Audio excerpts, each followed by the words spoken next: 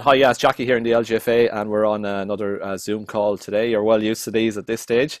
And today's one is a very, very special one because uh, into our inboxes earlier this week came the news that a former player is uh, the new presenter of TG Ceathair's Peil na mBan Beo uh, coverage, which will be coming to your screens very, very soon. And it's none other than today's guest, former Galway player Ní Bhraonáin. Máire, how are you? Great, Jackie. Thanks very much for having me. Anytime. Very, very happy to have you on board. Um, so, how did all this come about? Congratulations. Carmela Mahad. Um, well, I'm delighted. Um, I have to say, I've I've enjoyed every minute so far that I've had with uh, TG Ceathair and working with uh, Beo. And uh, it's just it's a brilliant honour to be able to help in broadcasting it and bringing it to people's homes, especially in the current climate. Um, I think there's a huge appetite out there for people to, to see the skill level um, and the players and, and everything they've worked towards to make this uh, championship happen. So I'm delighted to be a part of it and uh, looking forward to the matches very much. Very good. Um, you're a far uh, more proficient Gaeilgeoir than I am. I have the Cúpla Focal and I did get a B, I think, in my honours Irish in school, which wasn't too bad. So you have some nice uh, imagery there in the background. Uh, Imani, I can see Pelador. Um, Máire, for, from your own, uh, uh, can you tell me how your love of Irish uh, ca- came about? Were you born into a, an Irish-speaking family, or what was the what was the genesis for this? yeah, we're not from a Gaeltacht area, Jackie, but I suppose my parents would always have been. Um, very into Irish culture and language, and music was a big part in our house growing up, especially, and sport in the same way. Um, my mother and father both speak Irish um, and English, so we would have had a mix of both. Um, my brothers would speak Irish and English as well. Um, probably more so when uh, they, you know, they're made to listen to me and they have to listen to it in Irish, but uh, they're well able to hold their own in a conversation. And uh, we've always had the, the couple of focal at home, but I suppose I love the fact that you could express yourself in different ways. Um, I loved French in school as well and I suppose I, I have the dream job of having sport and Irish uh, rolled into one. I don't feel like it's work.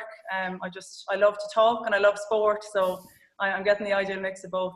A marriage made in heaven, I have to say, Máire. And uh, you know, you've been a fantastic analyst uh, over the past number of years on TG Ceathair on our coverage. I love seeing you at the games and um, good banter that we have from time to time as well. Um, the step up from analyst to main presenter, Máire. What are your thoughts on that and, and what lies in store? Yeah, it's always different. I suppose the biggest thing that I would see is that you know you're always still trying to to think like a player because that's really what people want to hear about at home. They want to to see what it is, maybe the tactical changes on the pitch. Um, as a presenter, I suppose the difference is that you're leading the conversation more and you're you're picking out if you have 30 seconds, well, what's the key point that needs to be discussed. Um, and I suppose in in challenging analysts as well to make sure that you're getting the most out of them. They have brilliant experience. Um, we've a, a star-studded lineup there with Michelle Ryan. Rena Buckley, Sorcha Furlong, uh, huge experience from the three counties as well. So it's really important with, with any analyst that as a presenter you're getting that from them. Um, but I think the main thing is to just keep on enjoying what we do because the, the standard of football is fantastic. The organisation that we have um, is amazing as well. And, and, I think it's just something we're all looking forward to, to, to getting back out there on the sideline, seeing them on the pitch. Absolutely, uh, Máire. How tempted will you be now when when when uh, you're discussing a, a, pivotal piece of play or some tactical analysis, and you you hand over to Sorcha or Michelle or Rena, and they come back with a point, and you're like, "No, I think you're wrong." how how do you marry that with your new role? Well, I think there's always look. There's always a healthy discussion there, and there's always going to be two viewpoints. And you know, we'd hope that that everyone who's watching at home and that that has their own opinion as well would, would feel that they're getting voiced as well. So, you know, while I'd be happy to ask the tough questions, I think it's important that if something can be picked up on um, as another point of view or maybe something to add on it, um, I'd hope that we can add to that and give people, you know, a good discussion, show them that we're, we're there to, to make sure that they get the best out of the, the program that they're watching um, and that we, you know, analyse as best we can what's happening. But we certainly can't predict the future, so if they're going to have to watch it to find out. Absolutely. Mara, talk to me about your preparation for uh, for match day and, and the mBan coverage and, and what, what that entails and how far out during a week you're, you're getting your notes and your facts and your stats together. Yeah, I suppose um, it has always been, previously we've had the, the league campaign to help us and with the, the preparation in the league, it has always been something that you learn from the players, maybe what they're doing or different structures in the management the same preparation hasn't been there, I suppose, from the amount of matches we can look back on. Um, but normally, you would be in the weeks leading up to a game. You're making sure that you're you're doing your own prep. Now they're excellent with uh. They have, you know, excellent researchers there who help out so much to to gather information together. uh, to make sure that it's accurate, you have availability of clips to make sure that you're, you're current and up with it. Um, but you're, you're watching to kind of hear player interviews, I suppose, as well. Hmm. Um, significant things, Jackie, can happen. You need to be prepared that on the day there can be lots of changes where players may be injured, um, but possibly even just a tactical switch. So you need to know you cannot just have your, your 15 players and say, well, they're definitely the ones that are playing. Um, even if you have an inside line, anything can change on the day. But uh, like I said, I really enjoy doing it. And when you feel prepared with it, um, I'd like to think of a good work ethic. It comes through on the day that you're ready, you're prepared, um, and you're coming across as professional as you can. So, Mar, when you compare your playing days to where we are now, the tactical evolution of the game has been uh, quite phenomenal. I think we every year it seems that managers are trying to outwit and outdo each other with new methods and, and new ways of play. Yeah, it's very true. And I suppose the team has increased in the backroom team as well, Jackie, which is a big thing where you have maybe more people involved in forwards, more people for backs, more goalkeeping coaches. And um, that has really helped to bring along the game. Another side that we see as well, the speed of the game is is constantly changing with maybe the, the skill level we would see and from clubs what players can bring from their club into their county as well. Um, I love to see that link up of players in, in club, maybe where Mourneabbey would have been an example in Cork, there we would often have seen the link up Kilkerrin Clonberne and Galway, for example, um, really pushing it to the heights of club level and then kind of transferring that to county as well. Um, another big change I've seen is that maybe in management terms, we do see a bit more longevity there and a lot of the time there's more continuity. So maybe the panels are not changing as much, the management is not changing, and it does really create a great basis from year to year. They have that platform rather than maybe we would have sometimes seen a lot of changes from year to year, and it can be challenging to deal with that uh, as a player, but also as the management team. Absolutely. Um, how how much do you think? Um, uh, uh, coverage will, will be different in, in, in, these unprecedented times that we're in, and uh, a COVID a hen uh, a nucht, uh, as we'll call it. Uh, have I got that right, Maura? Uh, a hen a knee, but yeah, a knee, a knee. Terrible. Have it any time of the day or night. So enjoy I, I, I told you I had to work on my Irish, but we are in in the year 2020, and we had the 20 by 20 campaign was in full swing as well. So we have lost some significant ground, but at the same time, we're looking forward to the games getting underway more. But from a from a coverage viewpoint, how different do you think uh, things will look? Well, I think uh, it has been wonderful with TG and Nemeton. They have been able to stream the games. We've seen that from the GAA and the, I suppose, the, the effort that has been made. It really doesn't come across as anything too different. We're still seeing a great standard. We're being presented with great analysis. Um, TG have always been instrumental in kind of adding in something new. They're no strange mm, challenges, absolutely. like the first people to introduce the ref cam, for example, in production. Um, another example, I suppose people would say, well, it's tough to see how it changes, but online, kind of, we would see a lot of uh, interviews now with players after matches. TG Ceathair began that in Peil na mBan, uh, going onto the pitch and you know running on trying to follow a player um, who was ready to go celebrating. But I mean, you do get a raw interview from that. So while there might be a bit more of the distance from it, and obviously there are safety protocols to go through, I think we still will see you know the player interviews, the player the match presentations. We will get to hear from the managers. Um, and while it'll be a little bit different, the, the basic bones of it are there, Jackie, and we're really looking forward to, to presenting that to people at home so that they're getting in on the action um, and seeing that 2020 is the championship they hope it can be. Absolutely. As, as I said, I need to brush up on my Irish. A hooked an A, but it's a, nuct is not a number, right? So let's clarify that one for us straight away. Uh, Maura, just looking at the bio that was sent through from the good people at um, TG Ceathair and Nemeton. Nine years of age when you started kicking football with Milltown. Yeah, so um, thankfully I'm still playing with Milltown, and we had a bit of a, club cut short, I suppose, like everybody around yes. the country with our matches. But uh, I'm very lucky and very proud to be part of the Milltown Ladies Club. Um, we've had an excellent tradition of players all the way through. Um, we have some players who've been playing for, like myself, for over two decades, um, and still happy to keep going with it and enjoying it. But um, it's a massive thing, Jackie, to play and grow up with people that when you go to school with them and when you leave. And I found, especially with college and starting to work, it keeps a brilliant link there with it. Um, we always had great managers and trainers to help us, uh, which again, by the time we got to secondary school, we had a great basis in football.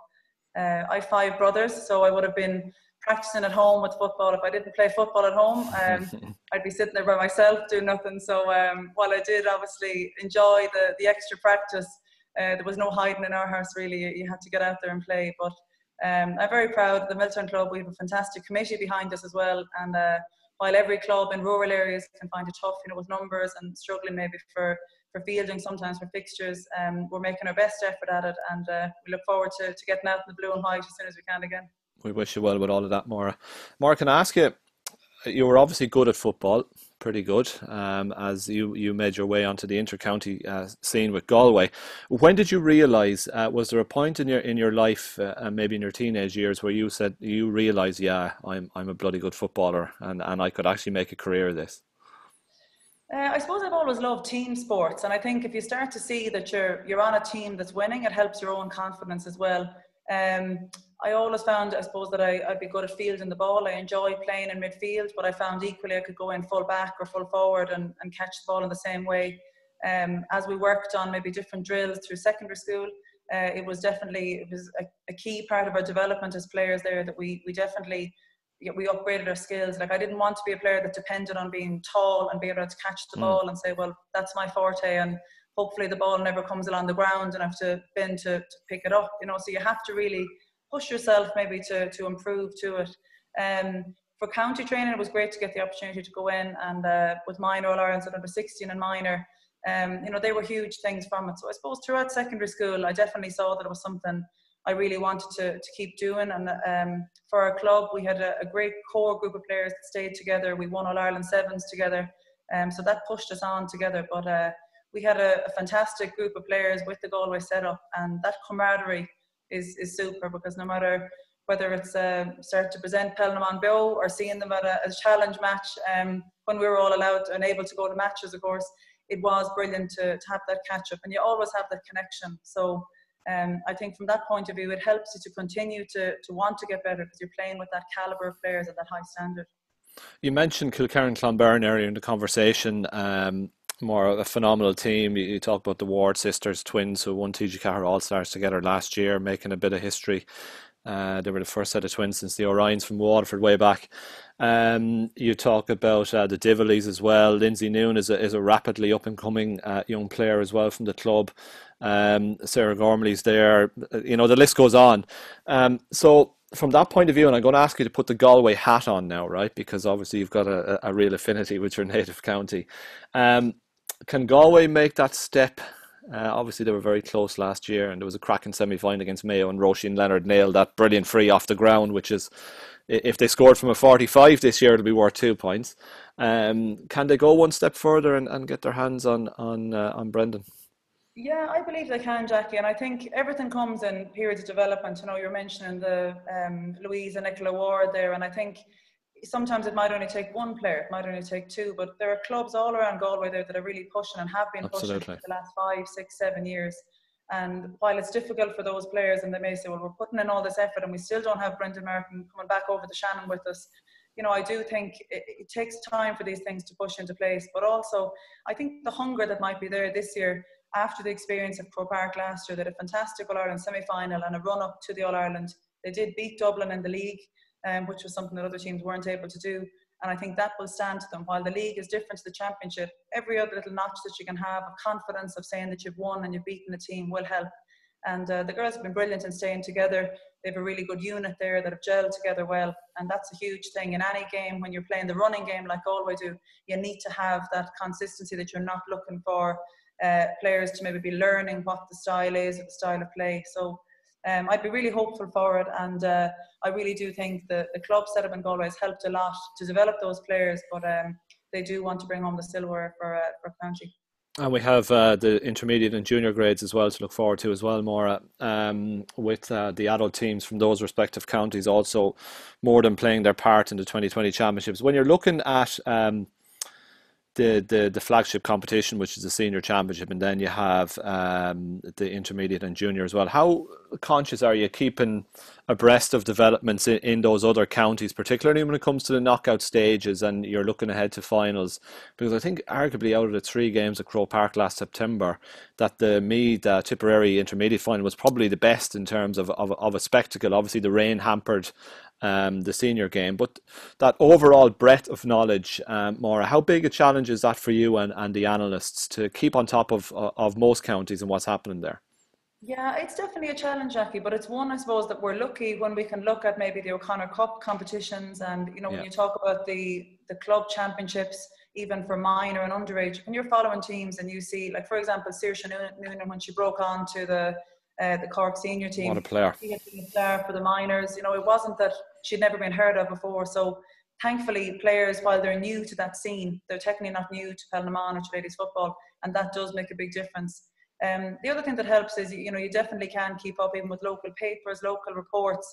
They do help a lot, and PROs and county boards are extremely helpful in passing on information. But there's nothing like seeing them in action. So it's great and leading up to those big games when you do see the the preliminary rounds, when you see the semi-finals, for example, you have a better idea of uh, the caliber of player that's there and what they're capable of doing. But um, the junior and the intermediate, they're brilliant stepping stones for those teams who are in development, for those teams who can show what they can do.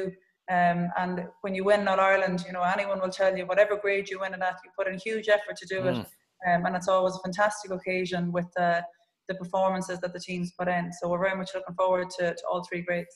Yeah, and absolutely, and they are the adult representatives of each of their counties, which is very important to remember as well on, on, on the journey. Maura, 2011, the opportunity to begin working with Sport TG Ceathair and Nemeton came in uh, 2011, but you've also you also contribute elsewhere in the media. Maura, if you want to tell us a little bit about that. Yeah, so again, I suppose like I was saying at the beginning, I've been very lucky where I've been able to uh, marry both loves that I have of sport and Irish into um, what people would say seems like work, but to me, I'm, I'm happy putting in the effort from it. Um, I really enjoy talking, I really enjoy sport, and, and it just gives me that great opportunity to use my Gaeilge for it. Um, on the radio, it's been uh, particularly enjoyable as well. It's a different side of it, mm. uh, where you again you can use the information, the analysis from it. So um, I would contribute to regularly to um, uh, Sean Bán would have his program on Raidió na Gaeltachta, or um, some of the other sports uh, programs and presenters that would have it. BBC Gaeilge with Owen Thievlina, uh, they run an excellent program on Monday nights. Um, and also with Newstalk, uh, Splanc is their Irish language program, yep. which has a, a, sports segment to it.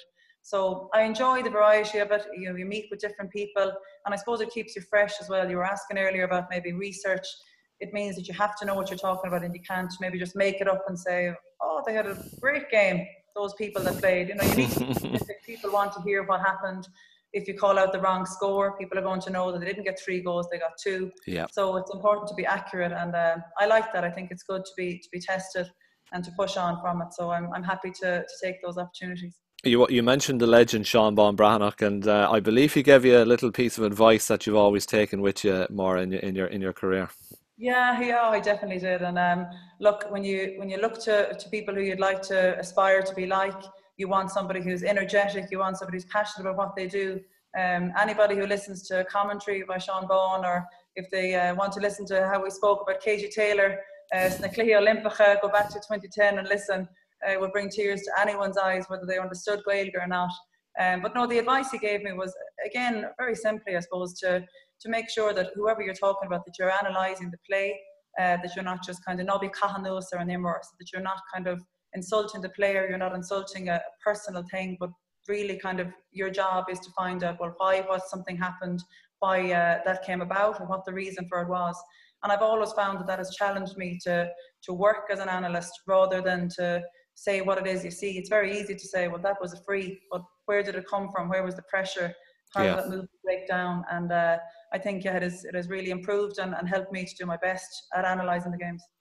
Or I guess when you look back earlier on in the year and when, when, when COVID first started to strike, um, did you have a fear at that time that we might not see any football in 2020?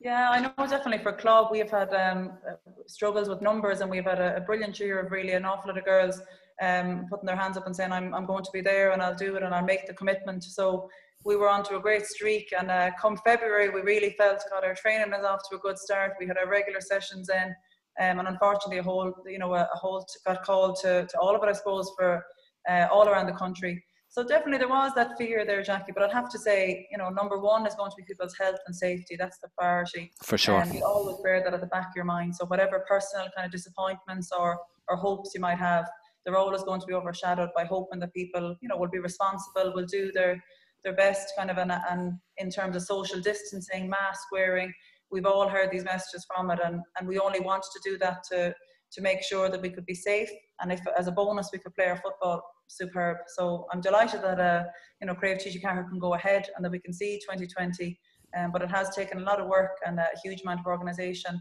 by the LGFA, by TG Ceathair, um, and by all the players and clubs and counties.